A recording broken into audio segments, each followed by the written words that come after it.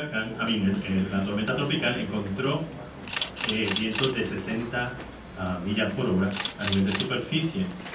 Sin embargo, cuando el sistema estaba pasando como en unas 20 millas al sur de Antigua, Antigua reportó vientos sostenidos de 67 millas por hora y una ráfaga de 88 millas por hora que resultó en muchos árboles eh, de raíz. Esto significa, además el, avión de reconocimiento encontró una presión central bastante baja, eh, a diferencia de las 5 de la mañana, lo que significa que el sistema se está organizando e intensificando. Es muy posible que este sistema pueda llegar a la intensidad de huracán mucho antes de que llegue a la vida de nosotros. El otro, lo otro que se está viendo es que el sistema, si se fijan en, el monitor abajo, el sistema está pronosticado a moverse por el mismo medio de ese, de ese cono, sin embargo lo que está haciendo es moviéndose por la parte sur de ese cono. Si esa tendencia sigue, es posible que ese pronóstico cambie un poco. Eh, por eso es que el Centro Nacional de Huracanes ha decidido mantener la vigilancia de huracán todavía para Puerto Rico y las Islas Vírgenes y obviamente el aviso de tormenta tropical se va a mantener.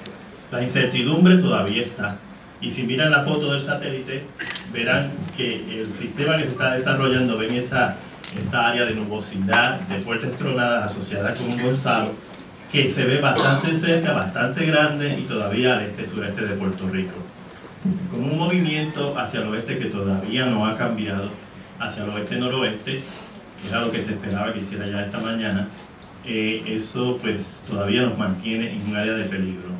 Eh, si el sistema se mueve más hacia el oeste de lo que se espera, pudiera todavía causar que eh, efectos de huracán lleguen al área.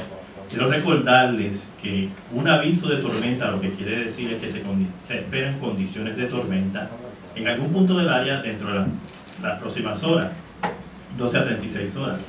Una vigilancia de huracán es que el potencial es bastante alto de que se esperen, eh, se detecten condiciones de huracán en algún punto del área en las próximas 12 a 36 horas.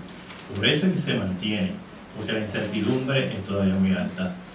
A, a las 2 de la tarde va a haber otro boletín, pero ese es un boletín intermedio que no cambia a menos que el avión encuentre que el sistema se ha intensificado más rápidamente. Como digo de servicio del tiempo nos han estado eh, informando de la posibilidad de que se esté moviendo un poco más al sur de, lo que se anticipaba. Eh, vamos a esperar al boletín de las 5 de la tarde para hacer cualquier cambio en las operaciones de gobierno eh, para, la noche de mañana.